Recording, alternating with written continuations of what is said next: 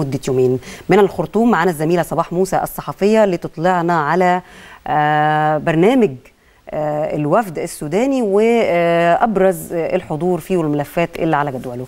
أهلا يا صباح. ألو أهلا وسهلا. اتفضلي يا صباح. قولي لنا لو تسمحي حجم الوفد الجاي مع الرئيس السوداني إيه؟ ما هو المعلن في الخرطوم الآن حول هذه الزيارة؟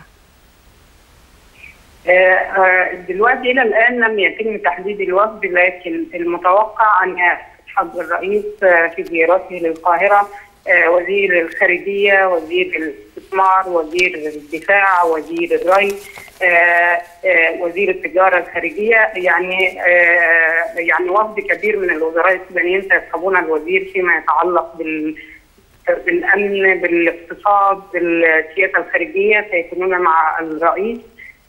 المعلن إلى الآن عن ملف أو أجندة الزيارة أن الرئيس مع الرئيس السيسي استكمال بعض الاتفاقات الثنائية التي وقعت بعد زيارة السيسي في الخرطوم آه العلاقات الاقتصادية آه الطرق آه تحت اللجنة العليا المشتركة بين البلدين اللي هي متوقع تكون على نهاية العام. اهم الملفات هي الملفات الحدودية بين البلدين. طبعا ملف حاله الشائك يعني مع قرب الزيارة تصريحات البشير أثارت بعض في القاهرة وأيضا في الخرطوم. لكن هنا المسؤولين السودانيين بيؤكدوا إنه حلايب وإنه السودان لا يمكن أن يحارب مصر بسبب حلايب وأن هذا الملف تسويته هو الاتفاق عليه داخل غرفة مغلقة بين الرئيس البشير والرئيس السيسي. وان حلايب ابدا لم تكون مسار للحرب بين مصر والسودان وإن هي سيتم الاتفاق عليها بين الرئيسين بعيدا عن التناول الإعلامي السكي سواء في مصر أو السودان. طبعا بعيدا عن التناول الإعلامي أيضا صباح مهتم أعرف يعني هل تصريحات البشير هي مسألة متفق عليها في داخل الشارع السياسي السوداني ولا في خلافات في وجهات النظر بين التيارات السياسية المختلفة حواليها؟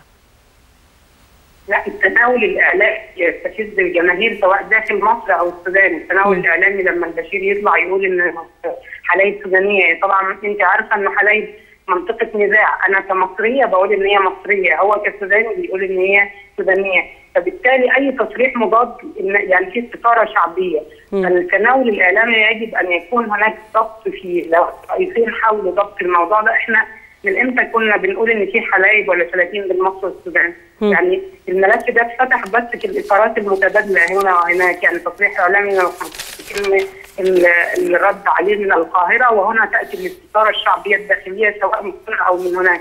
لو تم إطلاق هذا الملف تماما في هذه الزيارة بحيث يكون التناول بين الرئيسين أو على المستوى الرسمي وعلى المستوى الإدارة هنا وهناك سيتم طي هذا الملف لأنه هو قطاع يعوق فعلا تقدم العلاقات المصرية السودانية، لكن فيما عدا ذلك في اتفاق على موضوع الحدود وفي اتفاق على موضوع ليبيا اللي هو دول موارد ليبيا عارف المشاكل اللي حصل من ليبيا ففي تنسيق، التنسيق الأكبر اللي حصل فيه اختراق بعد زيارة السيسي للخرطوم موضوع المية، الاجتماع الثلاثي الأخير اللي تم في الخرطوم من شهر ونص تقريبا أعتقد إن الخرطوم قامت فيه بدور كبير جدا لتقريب وجهات النظر بين القاهرة وأديس أبابا.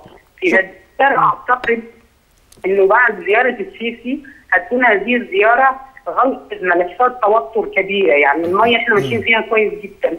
تبقى فقط ملف حقيقي. وهو الملف ده اللي متوقع إنه الرئيسين لو أخذ قرار بعدم التناول السهل سواء في الخرطوم أو القاهرة لهذا الملف. أعتقد إن مصر والسودان إن شاء الله هيكون في علاقات قوية جدا. يعني على المستوى الاقتصادي على مستوى غلق الحدود والتهريب واللي بتحصل على الحدود بين مصر والسودان. في ملف ليبيا لو تم التنسيق حواليه إذا إحنا بسبب علاقات مصرية سودانية متقدمة بالإضافة إلى الحريات الأربعة اللي أشار إليها الرئيس قال لو هي اتطبقت كاملة اللي أشار إليها البشير في حواره إنه لو اتطبقت الحريات الأربعة كاملة مش هيكون في حدود أصلا يعني. كمصرية دي اتفاقيه بين مصر والسودان اتفاقية الحريات الأربعة حريه العمل والإقامة. الحريات الأربعة فقط من الجانب المصري السوداني طبقها كاملة لكن من الجانب المصري طريقة التنقل بمعنى إن السودان تيجي مصر من فئه عمرية محددة لازم ياخد تأشيرة. المصري بيجي السودان بدون تأشيرة. طريقة العمل والتملك والتنقل والحركة. إحنا السودان فقط تبقى ليه من فئة عمرية من الشباب تقريبا من 17 لحاجة و50 سنة لابد أن ياخد التأشيرة.